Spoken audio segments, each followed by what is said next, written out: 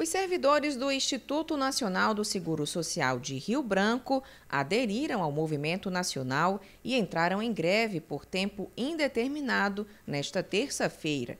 Os trabalhadores do interior do estado não entraram no movimento por enquanto. Mais de 200 agências por todo o Brasil estão paralisadas. A última greve do INSS aconteceu em 2022 e durou mais de 60 dias. O comando de greve hoje está exigindo cumprimento do acordo que foi feito e não foi cumprido.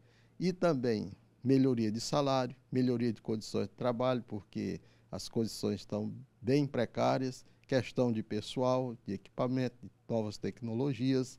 Isso tudo faz parte das reivindicações, inclusive a estruturação da carreira do seguro social e também os servidores estão exigindo é, uma melhoria de, na tabela salarial a nível de reestruturação de carreira, inclusive há uma reivindicação para que se transforme a atividade do seguro social em atividade exclusiva, tá? que é para não permitir terceirização, e também os servidores reivindicam a carreira típica de Estado.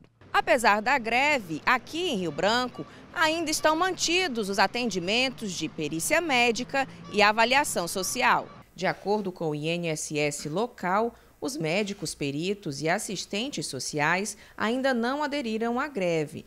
Caso isso ocorra, a situação deve se complicar. Valcinei é de Boca do Acre. Ele sofreu um acidente de moto há sete anos que o deixou com uma deficiência na perna ficando impedido de realizar certas tarefas.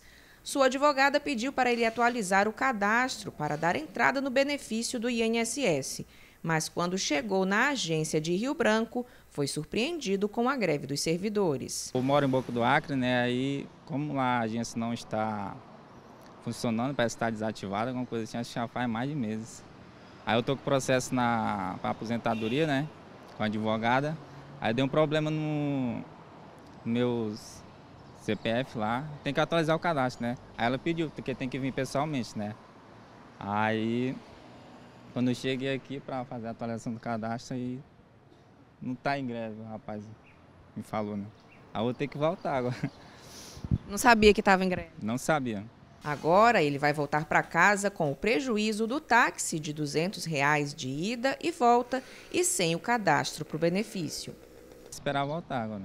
Aí eu vou retornar para fazer novamente, né, atualizar o cadastro e ver se está tá tudo certo. Está prevista para esta sexta-feira uma nova rodada de negociação com o movimento grevista. Já teve uma reunião, deve ter outra amanhã, mas não sei se a gente vai ter alguma solução. Mas a greve está crescendo e ela tende a se expandir, porque a greve ela só começa a surtir efeito e pressão quando se para pelo menos em torno de 50% a 60% das unidades do INSS.